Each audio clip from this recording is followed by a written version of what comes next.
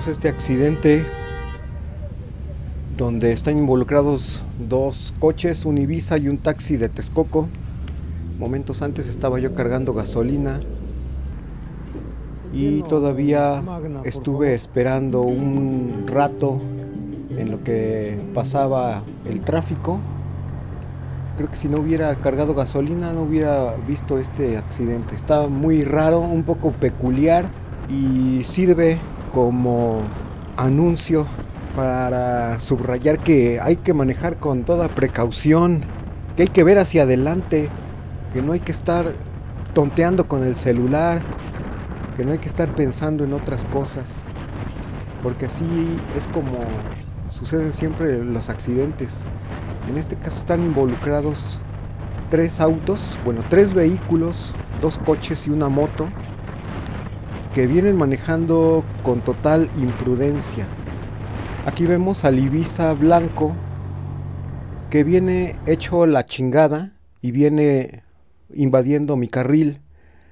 Va tomando esa curva que además está este camino totalmente mal diseñado, lleno de curvas que no tienen ninguna función más que evadir las obras de las autopistas y del Mexibus y está muy mal planeado todo esto. Hicieron lo que se les hinchó la gana con este diseño de las calles.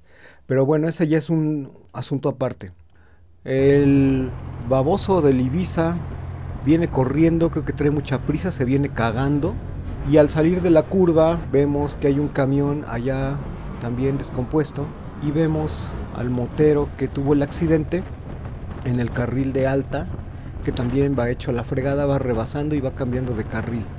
Yo ocupo el carril que venía ocupando, que nada más me lo salté porque estaba ahí descompuesto ese camión y vuelvo a tomar el carril en donde venía. Entramos a una curva de una estación de Mexibus que no está funcionando, que nunca terminaron de construirla y salimos de esa curva y en el momento en el que salgo de la curva veo perfectamente que ya el semáforo de la siguiente avenida ya es rojo. Entonces aquí empiezo a bajar la velocidad. Vean cuánto espacio tengo. Tengo como medio kilómetro de espacio entre la curva y el semáforo. Desde aquí es donde se tiene que bajar la velocidad. No tiene ningún caso que ya siga acelerando. ¿Por qué? Porque voy a llegar al semáforo, o sea, voy a llegar a donde están todos. Ya estando el semáforo en rojo, todavía va llegando el motero y es donde se estrella con el coche. Pero todo esto sucede con el semáforo en rojo. Entonces es un accidente muy particular apenas había cambiado, pero no tenía casi nada de haber cambiado el semáforo, aunque ya estaba plenamente en rojo. Los tres quisieron pasarse el semáforo y se lo quisieron pasar al mismo tiempo. Vean cómo el semáforo está en rojo y todavía los de adelante están haciendo movimientos, cuando ahí ya tienen que haberse detenido. Tienen que haberse detenido porque va a pasar el tráfico de la avenida que está cruzando. O sea, son temas básicos que se ven en el kinder y que no tienen que estar sucediendo en las calles porque para eso lo enseñan desde el kinder. A cualquier niño del kinder le preguntas qué significa un semáforo en rojo y te sabe decir. ¿Qué significa un semáforo en verde? Y te sabe decir. A lo mejor no sabe exactamente qué significa un semáforo en amarillo, pero también se tiene que entender como adultos para qué sirven los semáforos en amarillo, en verde y en rojo. Entonces no tiene ningún sentido que estén avanzando con un semáforo en rojo.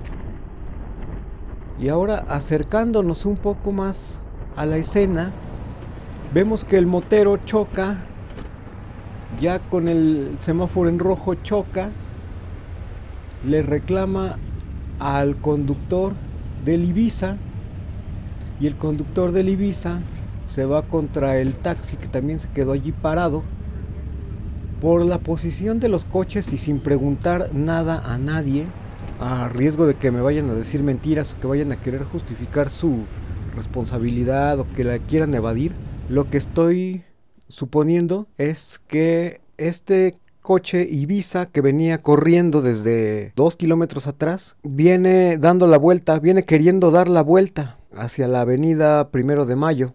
Y el taxi aparentemente venía también dando la vuelta por la posición en la que se encuentra. Y los dos venían dando la vuelta ya con el semáforo en rojo. El motero sí se llevó una buena arrastrada, ¿eh? Ahí están las marcas del el arrastre que sufrió su moto y pues afortunadamente no se mató, pero sí fue un accidente grave. Yo llegué a pensar que el motero se había tirado a propósito para eh, cobrar algún dinero o algo así por el accidente, pero viendo cómo quedó el, el suelo donde se resbaló la moto, lo estoy llegando a dudar. Dudo mucho que él se haya tirado en el piso y se haya resbalado de esa manera tan brutal como para que haya eh, hecho un numerito con tal de, de cobrar algo de dinero. No creo. Lo que sí creo es que vienen corriendo los dos, o los tres, que vienen manejando de forma imprudente los tres. Nótese a qué velocidad vendrían que se ven las marcas del amarronazo que se dio la moto. Pues esto quiere decir que no están viendo el semáforo, están viendo otra cosa, no sé. Están viendo el trasero del coche de adelante o no sé qué están viendo, pero el semáforo no lo están viendo y muy probablemente por la manera en la que se conduce ese taxi de Texcoco viene siendo conducido por una persona que no sabe manejar porque de repente como que se arrastra, como que de repente se le suelte el acelerador. El caso es que notamos que aquí ya se quería dar a la fuga, el del taxi lo estaban acorralando con tal de que respondiera por su, por su acto. Le echaron la culpa. No sé si realmente habrá tenido la culpa o qué. Y bueno, esto es lo que yo vi que sucedió. Y yo nada más me quedé a ver en qué se les podía ayudar. Porque si se iba a dar a la fuga aquel, pues entonces tendríamos que irlo a perseguir entre varios. Y el amigo motero que se regresó de la avenida central ya está custodiando al taxero. Y yo también voy a hacer lo mismo. Aunque me dice aquí el amigo motero que vaya por la patrulla. Entonces pues me voy a lanzar por la patrulla. Y hasta aquí yo les puedo ayudar. Ya no tiene mucho sentido que me esté regresando porque las cosas eh, están eh, pues un poco confusas y nada más es lo único que les voy a mostrar. Más adelante, pues con la sorpresa de que no hay ninguna patrulla y solamente encontramos un coche de la policía ministerial a la cual se le dio el aviso para que mandaran a alguien y pues solamente pedirles que tengan respeto por los señalamientos viales, respeto por la vida humana. Nosotros no somos sus estúpidos.